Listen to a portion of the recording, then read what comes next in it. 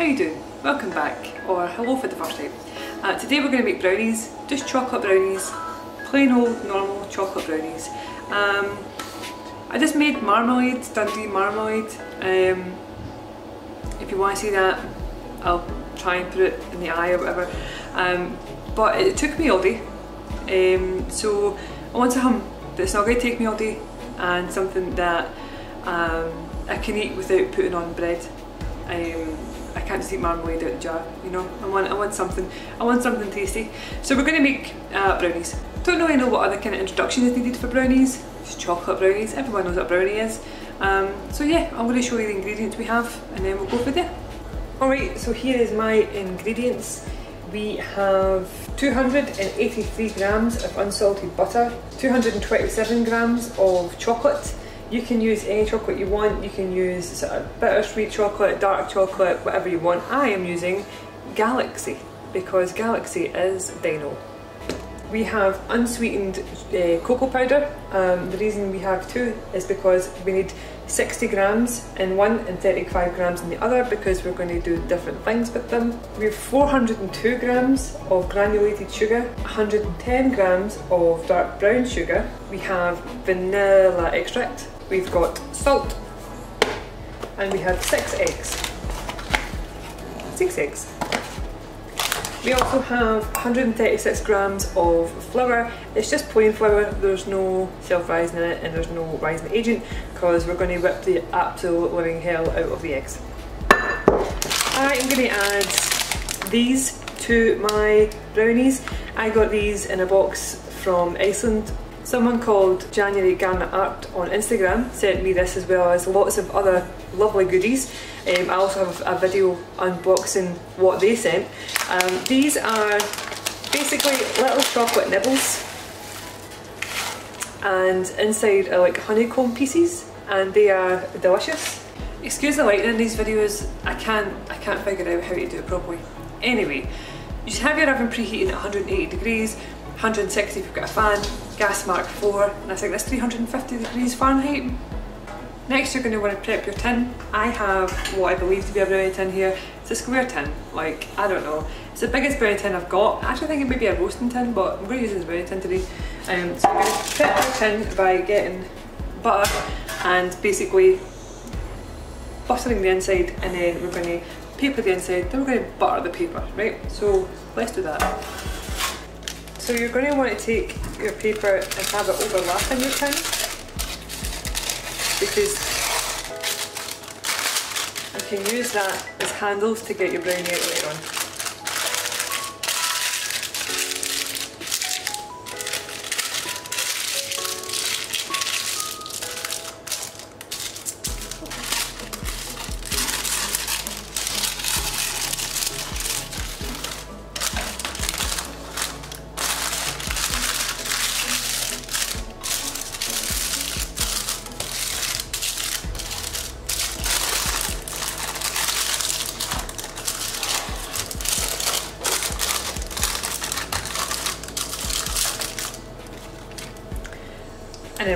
Again.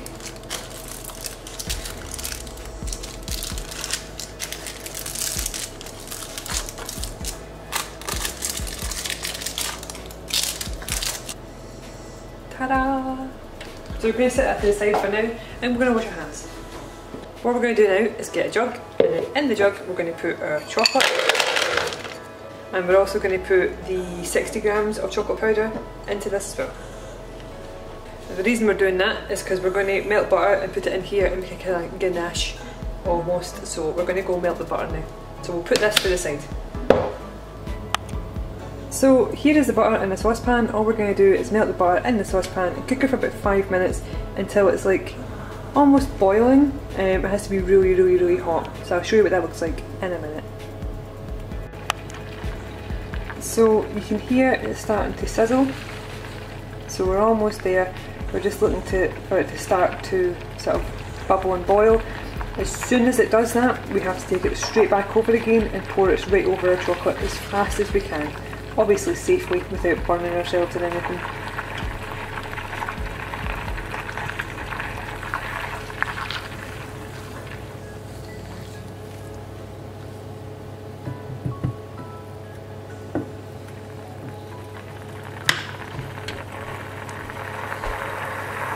It's starting to go, so I'm going to put my camera back over and then you can see me pouring it into my jug.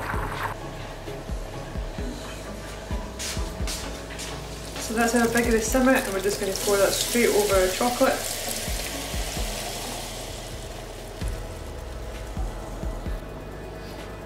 Once we've poured our butter into our chocolate, uh, let it sit for a minute or so, um, just let it do its thing for a wee second. Um, we're basically wanting the butter to melt all the chocolate in there enough so that when we stir it, it turns into a ganache. This is where my patience is highly tested because I really don't have the patience to wait. Once two minutes has passed, get your whisk and start whisking. You're basically whisking until it is fully all combined and smooth. That's where this comes in because I use this to scrape all along the edges to make sure it all comes up because there is some pesky dry bits of chocolate at the bottom and we don't want them stuck. This is now fully combined, there's no lumps, there's no dry spots and it's all very smooth and silky. So we're going to keep this to the side for now because that's that bit dealt with. Now we're going to move to my stand mixer. So let's do that. Okay, so say hello to my stand mixer. I've actually had him for like five years. Marcus bought me this when I first met him on our first Christmas, uh, but when he did that, the size of kitchen we had was like Harry Potter's bedroom. It had a fridge, a cooker and a sink and a window and that was it. So I've not been able to use this at all and then even my shed kitchen there wasn't a lot of room for it so now I can use it. So we're going to use this just now. So all we're going to do is shove in our sugar, our brown sugar, our salt which is two teaspoons. I know you're thinking like oh that's a ton of salt for like a recipe but salt actually just brings out the flavour of things when it's in baking. It shouldn't taste salty at all, um, so it'll be alright. It's fine. Two teaspoons of vanilla extract as well. So we're going to put it down and we're going to add the eggs gradually. Now I've already just went ahead and pre-whisked all my six eggs, but six large eggs as you're aware. So we'll just put it one now.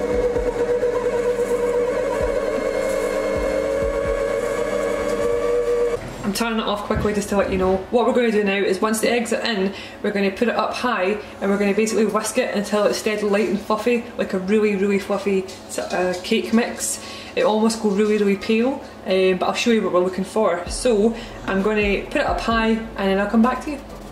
Okay, so I've turned this off now um, and you can see there's some difference in the way it looks. It looks very much like pancake batter or cake batter now. It's very, very light and fluffy. Um, I'll try to tip it to the side so you can sort of see. But yeah, we're looking for this white, fluffy consistency. It's almost doubled in size as well. So what we're going to do is put this back down. Then we're going to take our jug of really tasty chocolate stuff. We're going to zoom out a tiny wee bit. And we're going to put this back on while gradually pouring this in.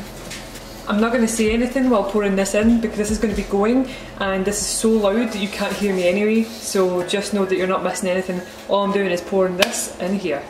It has to be up high when you do this. It also has to be up high when it's making it into a light batter. It took about 10 to 15 minutes to get it to this consistency on high. You can use a hand whisk as well, uh, it might take longer and it's very boring. But anyway, this is going to go on high now.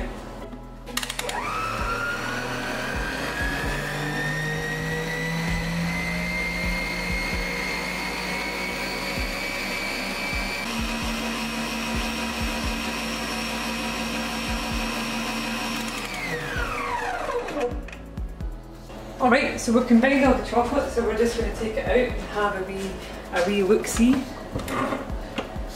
Oh, I think that looks great. So we're just going to take that off and put it straight in the sink. As you can see, we have a fantastic airy chocolate batter. So now we're going to put our dry ingredients in. Alright, so we've got our chocolate batter in here and then we've got our flour and we've got our chocolate powder. So we're just going to sieve these into this mixture. Um, and then we're going to fold it in because we spent all that time trying to get the air in. We don't want to knock the air out. I'm just using a spatula to fold because I feel like spatulas are the way to go when you fold. Um, I know some people like to use like a metal knife and all that kind of stuff, but you'd be there all day.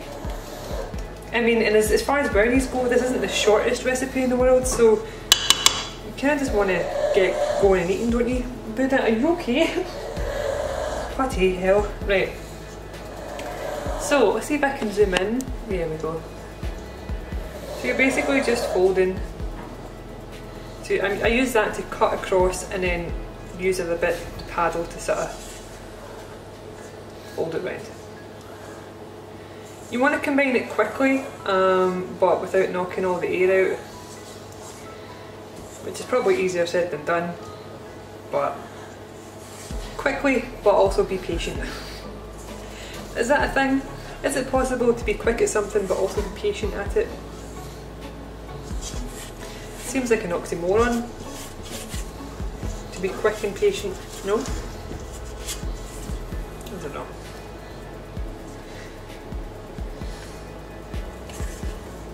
So as you can tell I'm just scraping the sides as well because we're going to pour out of this jug as well so I don't really want to have it dragging across any dry bits and you want to incorporate all the dry that you can. So let's put this in a tin. So we have our prepared tin and then we're just going to pour this in.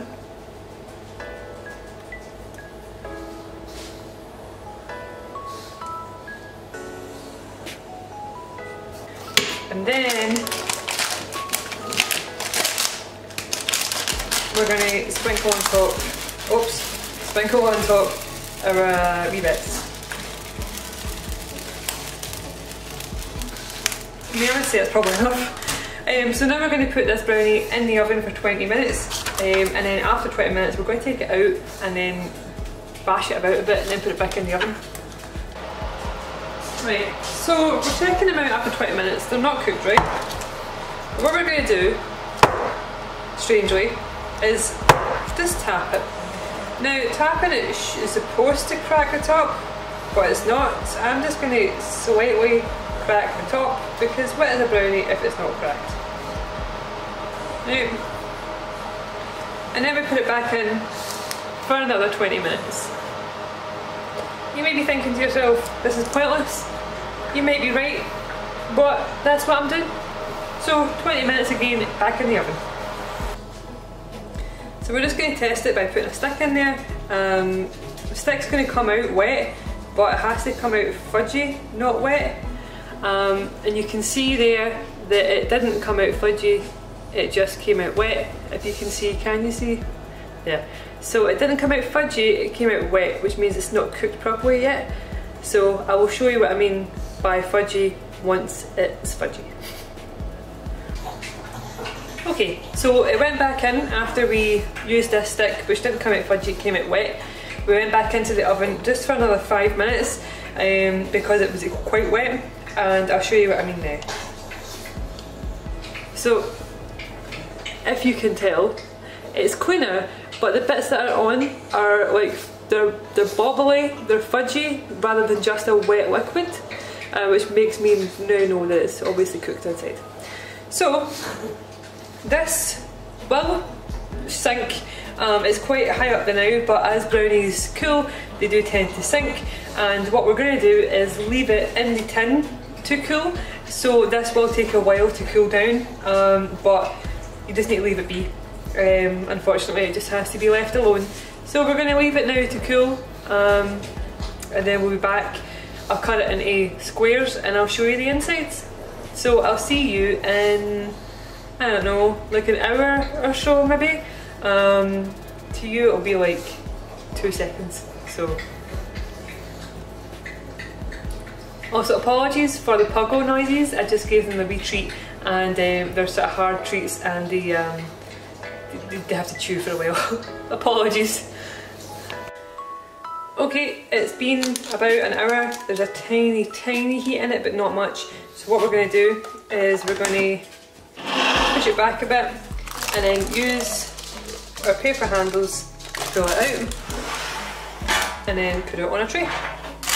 So just gonna peel this back a wee bit and then we're gonna cut it. So how I tend to cut is I tend to cut in the middle and then out the way so that I can try and make it as even as possible without getting my ruler out because I'm not one of those guys.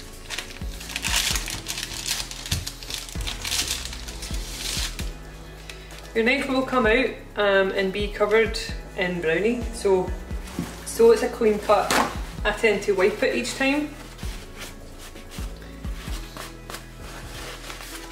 You don't have to, I mean it's not perfect or anything, but just to make it a bit cleaner. Now I live with Marcus, so I would usually cut that in half again and have big chunks, but a normal person would cut that into three. Um, but as I say, I live with Count Dankula, so it's going to be big pieces of brownie. That is a brownie all cut now. So I'll take this big slice here and show you what it looks like. You can see there, it's very, very fudgy. It is cooked, it's just squidgy and fudgy.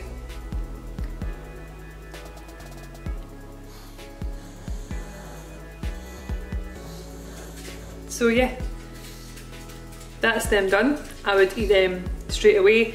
Um, sometimes I like to sprinkle some icing sugar on um, but because we have the chocolate nibbles on top, I'm not going to bother. Either way, whatever you want to do, that's them. They're fully made now and yeah, you can enjoy. So it's now dark outside and the light is still a bit weird so I don't really know where to put it. So if I look kind of ominous with my half shadow and stuff, I'm sorry, I'm not the best light person in the world. I'm not great at like knowing where to position things correctly. There you go. I mean, obviously the brownie is huge. It's like the size of like half my face. But um, yeah, this is this is my chocolate brownie recipe. If you like this recipe, um, please consider liking and subscribing. If you didn't like it, you're still here, then hello, thank you for sitting through this. If you try this recipe and you like it, then please send me pictures. Tell me what you would put inside your brownies. Would you put bits of pretzels, bits of marshmallows, maybe M&Ms, bits of fudge maybe, would you use galaxy chocolate? Would you just use darker chocolate? Like what would you do differently? Realistically, you can mess around with this brownie recipe. You can put whatever chocolate you want in it, you can put any ingredients in it. As long as you follow the basic steps, you're good to go. I aim one day to have the brownie tin at all the edges. Uh, that is the dream. If you have that tin, then you have to make brownies and show me. You just have to. I need that in my life. Anyway, thanks again for coming to watch me make brownies. I hope you liked this video. I hope you have a fantastic day or night. If you would like to support me in any way, shape or form, then all links are below to Patreon and all that kind of stuff. And, and merch as well, I do have merch. Oh, there's new merch coming as well. Maybe it's already out. I don't know, but there is new merch coming. Uh, it's Buddha and Bronson merch. Or it's out.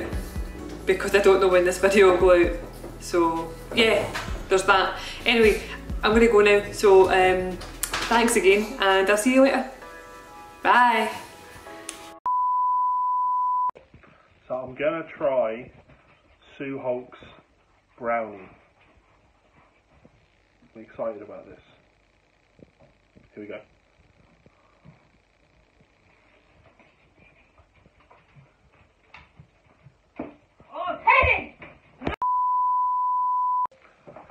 Right, let's try this Dan Brownie. Mmm. Mmm. Mmm. It's really chocolatey. Really soft. Very rich. I feel like there could be a market of me just eating food and people watching it. Would someone, would people pay for that?